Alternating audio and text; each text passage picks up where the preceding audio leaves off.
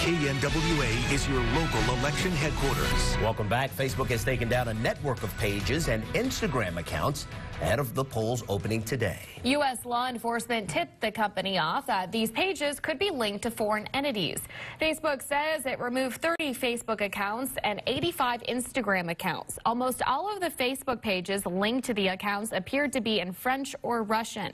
The Instagram ones were mostly in English. Officials say there is no indication that America's voting infrastructures have been compromised.